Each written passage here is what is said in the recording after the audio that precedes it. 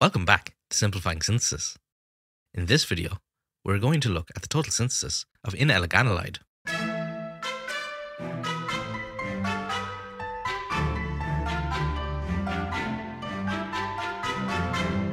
This work was published by the Stoltz Group in JACS in their paper, A Convergent Total Synthesis of Ineleganolide.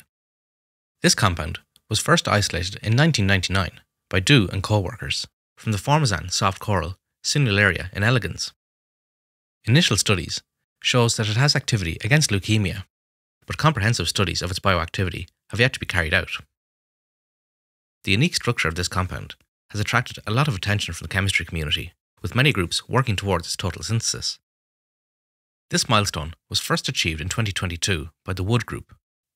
It was accomplished using a strategy involving a transannular Michael reaction, a Nozaki-Hiyama Kishi cyclization, and a furan oxidation oxo-Michael cascade.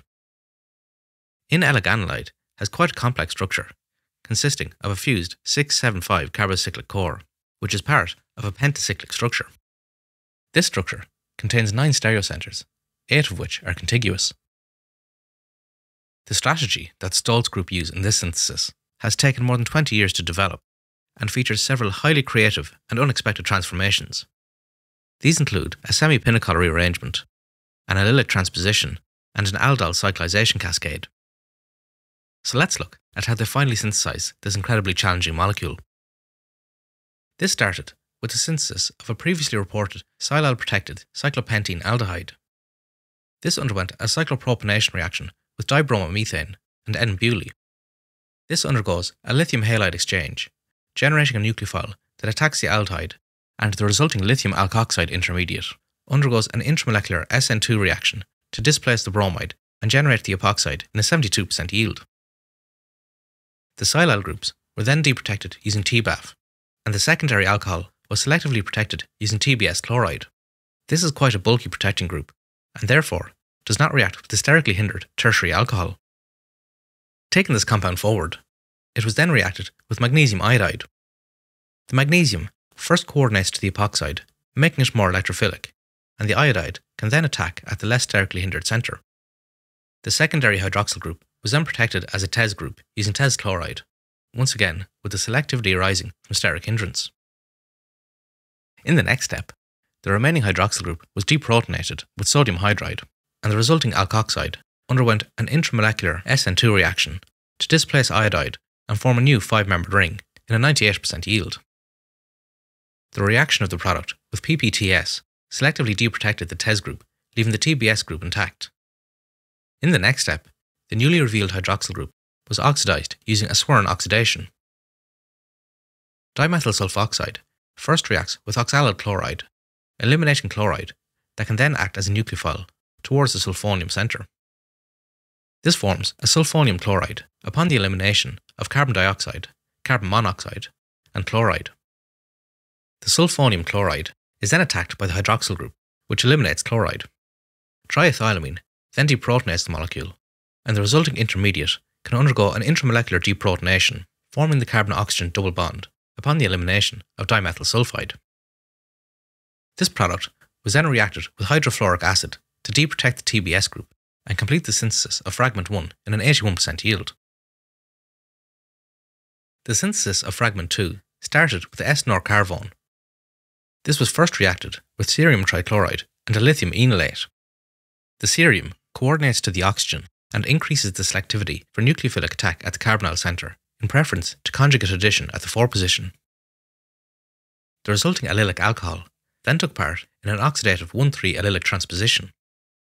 The reaction of the compound with tempo tetrafluoroborate first produces the tempo adduct of the hydroxyl group. The alkene then undergoes a migration upon attack of the oxygen atom present on the tempo molecule.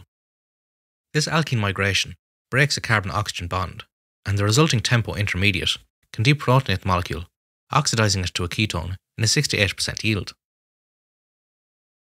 The ester was then hydrolyzed using potassium carbonate and methanol to generate the target carboxylic acid. This acid could then undergo an esterification reaction with fragment 1.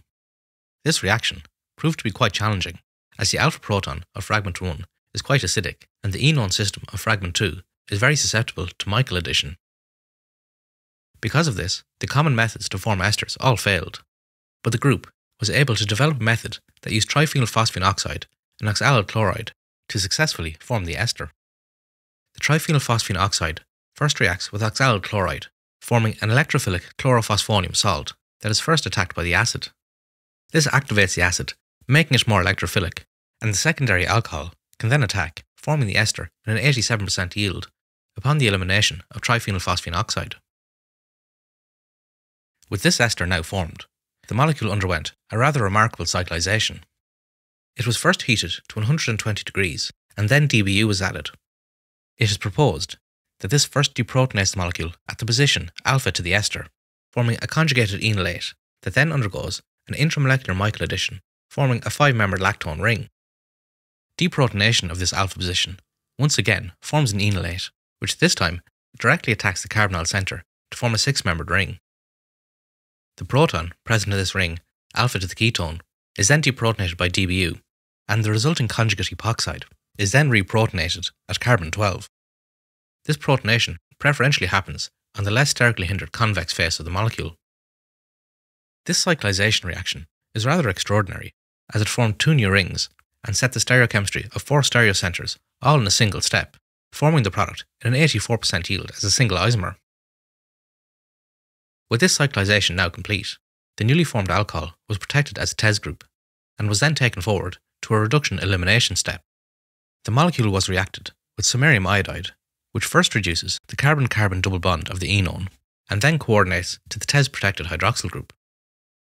This promotes an E1 elimination, where the oxygen is first eliminated, forming a stabilized tertiary carbocation, and then the proton, alpha to the ketone, eliminates, forming an enone in a 63% yield.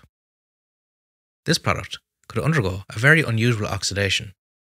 The researchers discovered that it could be oxidized by reacting it with base in the presence of air.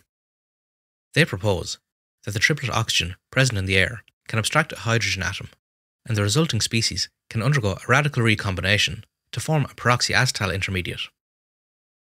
Deprotonation by DBU generates a peroxide that can undergo conjugate addition into the enone system, and the resulting enolate can then intramolecularly attack the dioxetane ring, forming an epoxide together with the hemiacetal in a 67% yield. In the next step, the hydroxyl group of the hemiacetal was acetylated using acetic anhydride and DMAP in an 85% yield. This electron withdrawing acetate was required for a semi-pinacol rearrangement. The compound is reacted with samarium iodide, which first coordinates to the epoxide, opening the ring to leave a radical residing on the alpha position. This radical then reacts with another equivalent of samarium iodide, which reduces it further to form an anion, which is rapidly protonated by water present in the reaction mixture. The samarium, coordinated to the alkoxide, can also coordinate to the acetate group, activating it as a leaving group and allowing for a semi-pinacol rearrangement to occur. The carbon-carbon bond, alpha to the ketone, migrates to this position as the acetate is eliminated, forming the central seven-membered ring and finally, completing the synthesis of ineleganolide after more than 20 years of research. So now, let me take a moment and tell you a bit about the sponsor of today's video, Brilliant. Brilliant is a website and app that offers a wide variety of math, science, and engineering courses. These courses range from the very basic fundamentals all the way up to advanced topics. Something that I really like about the Brilliant platform is the visual approach it takes to problem solving. Their lessons are interactive, and this allows you to build an intuitive understanding in a way that simply reading about the topic can't. To try everything that Brilliant has to offer for free for a full 30 days, please visit brilliant.org slash simplifying synthesis. The first 200 viewers to sign up will get a 20% discount off Brilliant's premium annual subscription. So head on over to brilliant.org slash simplifying synthesis to check it out. Well, that brings us to the end of a rather remarkable synthesis. Join me in the next video where we will look at the total synthesis of malatinins C and E